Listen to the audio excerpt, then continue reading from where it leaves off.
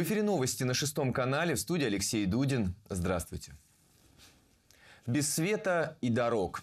Именно эти две проблемы стали главными на встрече чиновников Суздальского района со старостами деревень. В ряде населенных пунктов уличное освещение отсутствует частично, в некоторых его вообще нет. Люди ходят с фонариками. Есть и такие деревни, до которых не добраться. Доехать туда не могут ни скорая, ни пожарная, ни, казалось бы, везде проходящие уазики.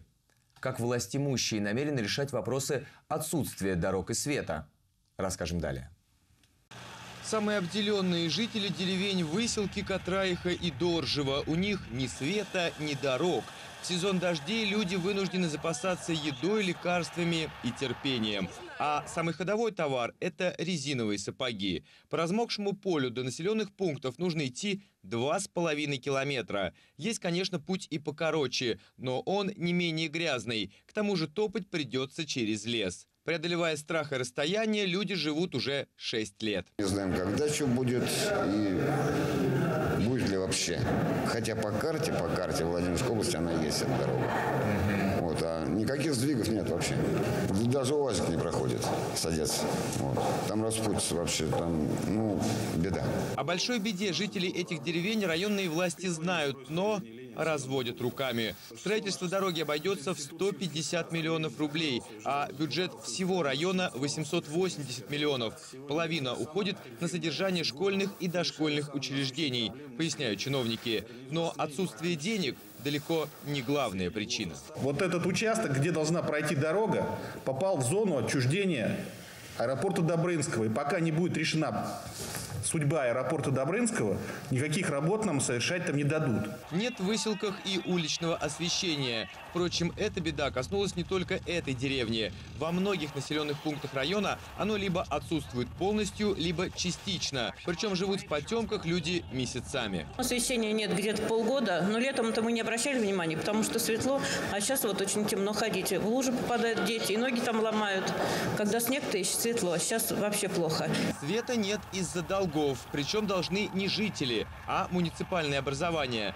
Сумма не маленькая – 10 миллионов рублей. Тем не менее, переговоры с поставщиками электричества районные власти ведут, хотя это и не их полномочия, пояснил глава. Часть уже задолженности погашена, и как бы я думаю, что до Нового года эту проблему мы постараемся решить. Надеемся, что раз и навсегда. В ближайшее время должны осветить и федеральную трассу М7, заверили чиновники. Через пару месяцев она должна засверкать. В освещение вложат 47 миллионов рублей. Работы уже начались. Подрядная организация будет освещение по всему Боголюбову двухстороннее современная, плюс оборудованы будут дополнительные пешеходные переходы и доли мешков. Ну, по контракту у них февраль месяц. Реально может затянуться, связанное с археологией. Насколько обещано воплотиться в жизнь, будет понятно к Новому году. И если у жителей большинства деревень и есть шанс поводить хороводы возле елок с горящими лампочками, то вот отрезанным от мира селянам из выселок Катрайхи и Доржева так и придется топать через размокшее поле к огням большого города. Алексей Дудин, Александр Мажаров, Шестой канал. Подвела итоги и обозначила планы на будущее. Губернатор Светлана Орлова провела последнюю в этом году пресс-конференцию. По мнению главы региона, 2015 выдался непростым. Тем не менее, сделано многое. О фактах и слухах уходящего года расскажет Алексей Соков. На подведении итогов Светлана Орлова собрала почти всю администрацию и заставляла отчитываться вместе с собой каждого. А есть за что. Главная цифра – темп роста экономики региона. Он составил 2,2%. Тут же губернатор высказался и о принятом недавно бюджете, а заодно и о заявлении депутата Госдумы Виталия Золочевского, который с высокой трибуны заявил о том, что якобы долг региона будет расти. У нас кредитов коммерческих банков нет. Это тем деятелям, которые бегут на выборы, начинают рассказывать сказки. Значит, у нас коммерческих кредитов нет. 810 миллионов мы сейчас с вами погасили. И остается миллиард триста, мы его гасим. В целом, год губернатор назвала непростым. Проблем было много. Одна из них транспортная во Владимире. Глава региона хоть и была в отпуске во время пикетов и митингов в поддержку экс-монополиста Автандила Беганова, но о том, как и за чей счет это было организовано, знает. Правда, с прессой не поделилась. И, конечно, сложившаяся ситуация на рынке, если там Беганов был на этом рынке, ну и пусть будет конкуренция, пусть они в конкуренции лучше показывают, да, и итогом как бы получилось, что будет 18 рублей стоить этот билет, не будет как бы повышения, там остались там и другие перевозчики, э, более там мелкие, и ничего страшного в этом не вижу. Постаралась губернатор развеять и слухи, которые активно, по ее мнению, в этом году распускались. Информацию о якобы запрете на продажу алкоголя на все новогодние праздники назвала рыночным ходом. Специально якобы ажиотаж создали бизнесмены в сфере алкобизнеса, чтобы навариться. Знает губернатор и предновогодний слух о елке у Белого дома. Говорят, старую, большую, к себе на дачу увезла, а новую маленькую поставила за бюджетные деньги. Сама елкой Орлова, как говорит, не занималась, а поручила это другой женщине. По старой елке, ну, уважаемые коллеги, она простояла более 10 лет. Поэтому она у нас уже была аварийной в прошлом году. Мы там немножко ее подлатали. В этом году мы не стали рисковать, потому что это уже опасно. И елку мы списали по акту. То, что касается новой елки, мы ее не покупали, потому что это дорого. Мы взяли ее на два месяца в аренду.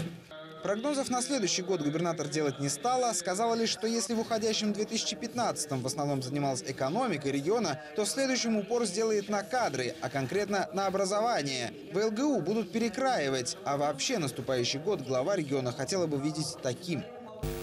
Ну, если вы хотите, что я сейчас скажу, что все будет супер, не скажу. Будут проблемы. Но мы будем с ними справляться вместе с вами. Алексей Соков, Артем Горчаков, Шестой канал. Экономика развивается, указы президента выполняются, а уровень безработицы – один из самых низких по стране. В мэрии подвели итоги уходящего года. Городские власти рассказали, как в областном центре обстоят дела со строительством жилья, социальной поддержкой населения и ремонтом дорог. Кроме того, заявили, что в областном центре решена проблема работы общественного транспорта, а ремонт моста на Октябрьском проспекте может закончиться раньше намеченного срока. Обо всем подробнее. Оксана Любимова. Подводя итоги уходящего года, в мэрии говорят, несмотря на кризис, городу удалось добиться неплохих экономических показателей. Рост промышленного производства почти 14%, объем отгруженной с Владимирских предприятий продукции 77 миллиардов рублей. Уровень безработицы меньше 1%, а средняя зарплата в областном центре в 2015 году 28 686 рублей. Городские власти не отрицают, покупательская способность населения, конечно, снизилась. Однако, чтобы поддержать людей в непростых условиях, во Владимире организовали больше десятка ярмарок и открыли несколько социальных отделов на центральном рынке. И мы сейчас пытаемся это внедрить на все рынки города Владимир. Достаточно много создано таких мест и социальных парикмахерских вот э, здесь, и гостиницы дешевые. В этом году город сдает рекордное количество жилья – 237 тысяч квадратных метров. На ремонт Владимирских дорог потратили 120 миллионов рублей. В следующем году объемы планируют сохранить и при этом больше внимания уделить придомовым территориям. По словам Андрея Шохина, не исключено, что ремонт моста на Октябрьском проспекте закончится раньше, чем планировали. Работы уже идут с опережением графика. Коснулись на итоговой пресс-конференции и работы общественного транспорта. В мэрии заверяют, конфликт между перевозчиками исчерпан. И ни о какой монополии на этом рынке речи быть не может. На сегодня у нас компания АДМ имеет 29% рынка, Биг Автотранс 30% рынка, Патис, 11% рынка. Глава города Ольга Деева рассказала, что новый состав горсовета активно включился в работу. Завтра депутатам предстоит принять главный финансовый документ. И в бюджете 2016 будут деньги на бесплатные завтраки в школах. А вот решить вопрос с арендой льда в Полярисе для муниципальных секций пока не удалось. Пока на сегодняшний день это в прежние цифры, но мы надеемся, что все-таки нам удастся депутатским корпусом переломить эту ситуацию и а, с руководством Поляриса договориться о каком-то снижении этой стоимости. На 2016 год а, предусмотрены а, предусмотрено финансирование для обеспечения учащихся начальных классов первых и четвертых классов начальной школы для бесплатного питания полностью. Одним из самых значимых событий уходящего года городские власти считают достойное празднование 70-летия Победы и заявляют о готовности оперативно реагировать на проблемы ветеранов. Помощь была очень большая. Ни, один ветеран не остался без внимания. И эту работу мы будем продолжать совместно с Ольгой Александровной, со всеми администрацией, депутатами и в последующие годы. То есть мы на этом не останавливаемся. Все обращения, которые приходят к нам, мы очень тщательно отрабатываем и все возможное для наших ветеранов делаем. Неважно, попали они под федеральные там льготу, не попали, не попали, значит мы берем это на себя. В конце пресс-конференции руководители города пригласили владимирцев на открытие рождественской ярмарки 25 декабря. Еще одной хорошей новостью стало сообщение Андрея Шохина о том, что в новогоднюю ночь во Владимире все-таки будет работать общественный транспорт. 14 троллейбусов и 21 автобус будут бесплатно возить горожан с половины первого ночи до половины пятого утра. Оксана Любимова, Евгений Токарев, Шестой канал. Встретили гостей из Москвы. Во Владимир с официальным визитом прибыли высокие гости во главе с заместителем министра промышленности и торговли. Виктор Евтухов приехал в наш город для подписания важного документа – Кодекса добросовестных практик. Он поможет наладить отношения между производителями владимирских товаров и торговыми сетями. В выигрыше окажутся и покупатели. Подробности в материале Валерии Саенко. Первым делом гости из столицы отправились на Владимирское производство. Чиновникам показали то, чем особенно гордится наш город. Это, конечно, фирменной хлебной продукцией. Заместитель министра промышленности в области не впервые, с Владимирскими заводами уже знаком, но эта экскурсия приятно удивила. Всегда с большим удовольствием сюда приезжаем по разным вопросам, и по развитию легкой промышленности, и по развитию торговли. Мы сегодня успели э, так, достаточно э, плотно познакомиться э, с хлебокомбинатом. Это одно из главных, я так понимаю, понимаю, градообразующих предприятий. Современное оборудование, современное производство, высококачественная продукция. Цехах чиновники оказались не случайно, ведь документ, который был подписан чуть позже, положительно скажется именно и на этом производстве. Это заметили и на круглом столе, который прошел на предприятии после экскурсии. Кодекс добросовестных практик разработан два года назад и регулирует взаимоотношения между торговыми сетями и производителями-поставщиками. Теперь для решения любых сложных проблем стороны смогут обратиться в специальную комиссию. Поставщики и ритейлеры данного региона получают возможность взаимодействовать с комиссией по соблюдению кодекса, обращаться в межотраслевой экспертный совет решать внутренние вопросы в соответствии с кодексом добросовестных практик и ориентироваться на данный кодекс как на основной документ своего ежедневного взаимодействия. По такому кодексу работают уже 15 регионов России. Там, уверяют эксперты, документ уже помог наладить отношения производителей и торговых сетей. И те, и другие стали ответственнее относиться к своим обязанностям. А это сказывается и на покупателях. Ведь теперь за то, что они съедят что-то не то, можно не переживать. Кодекс добросовестных практик направлен на улучшение качества, на улучшение свежести продукции, на улучшение взаимоотношения между э, значит, э, производителям и э, потребителям. Естественно, это и графики поставок. Я хочу сказать, что от этого должен выиграть потребитель. А это самое главное. Валерия Саенко, Артем Горчаков. Шестой канал. Чертово колесо не запустилось. Сегодня должен был состояться пробный запуск нового аттракциона. Причем представителям СМИ даже обещали, что они сделают круг на колесе обозрения. Наша съемочная группа пробыла в кабинке около часа, но прокатиться так и не удалось. Аттракцион не запустился. Хотя представитель компании-изготовителя уверял, что это колесо обозрения безупречнее даже самого большого в стране, что находится на ВВЦ. Но после инцидента все же признал, что некоторые трудности на старте все же бывают. Главная причина заминки – переключение аттракциона от резервного генератора к основному источнику питания. Пусконаладочные работы, несколько бригад работают, поэтому неполадки такие мелкие э, возможны, скажем так, и временные, потому что вот сейчас, ну, сегодня колесо встанет на обкатку на всю ночь, вот, и, соответственно, будет крутиться, то есть там уже сейчас все вопросы решили, вот, которые были. Вот, то есть это именно такие мелкие огрехи, связанные с пусконаладкой. И все же официальное открытие колеса обозрения пока не перенесли. Оно по-прежнему должно состояться в субботу, в час дня.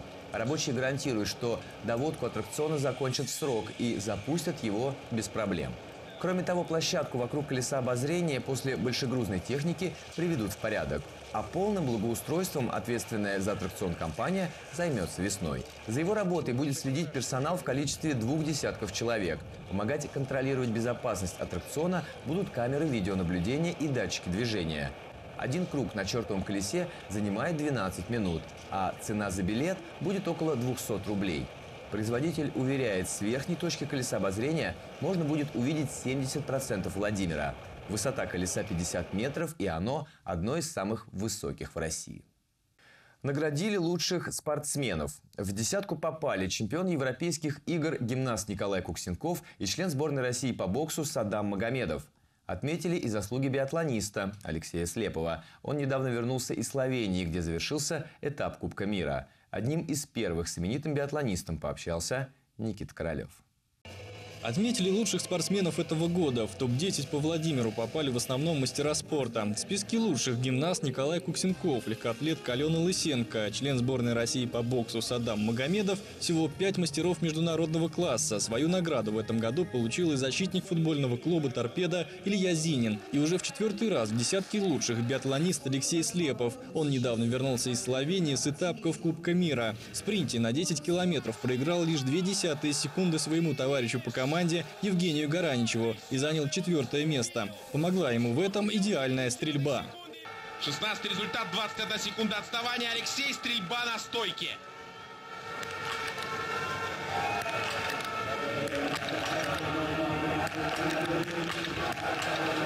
Вот это слепо! Вайда Леха! Тренеры, самое главное, наверное, подмечают то, что у меня более-менее стала стабилизироваться стрельба. А если дальше хорошо пойдет, то, я думаю, чемпионату мира все будет хорошо. И вот у них, наверное, есть какая-то надежда, и поэтому они мне постоянно ну, подбадривают. Четвертое место в спринте. Пока что лучший результат в карьере Слепова на мировых первенствах, а в начале года Алексей трижды взял золото на чемпионате Европы в Эстонии. Главный физкультурник Владимира отмечает, для воспитания именитых лыжников база в городе есть. Уже сейчас в школе имени Прокуророва занимается около 500 спортсменов. Тренируются они даже без снега, на роликах. Сейчас уже выделены деньги э, на окраине Владимир в Суздальском районе, в районе населенного пункта Масловка, где э, будет, э, будет ну, начало проектирования лыжероллерной трассы. Это очень нужно для нас. И, в общем-то, я думаю, что после этого уже будут, будут появляться новые слеповые. В биатлоне Слепу всего четвертый год. До этого были лыжные гонки. Технику бега Алексею больше 10 лет помогал оттачивать его тренер. Олег Канточкин в прямом эфире Кубок мира, признается, не смотрел. Весть о том, что его подопечный лишь в двух шагах от легенды биатлона Ульейнера Бьерндалина взорвала телефон. Вся страна звонила, поздравляла. Ну и вообще так было радостно. Конечно, я пришел домой, включил запись посмотрел и удивился его вот этой вот э, современной суперстрельбой. Накануне он отправится с национальной сборной в Австрию на сборы, а оттуда в Германию на следующий этап Кубка мира. Гулять и радоваться, признается спортсмен, пока рано, ведь впереди его первый мировой чемпионат. Никита Королев, Артем Горчаков, Шестой канал. На этом все. Далее вас ожидает блок полезной информации и прогноз погоды. Спасибо, что провели это время с нами и оставайтесь на РЕН шестом канале.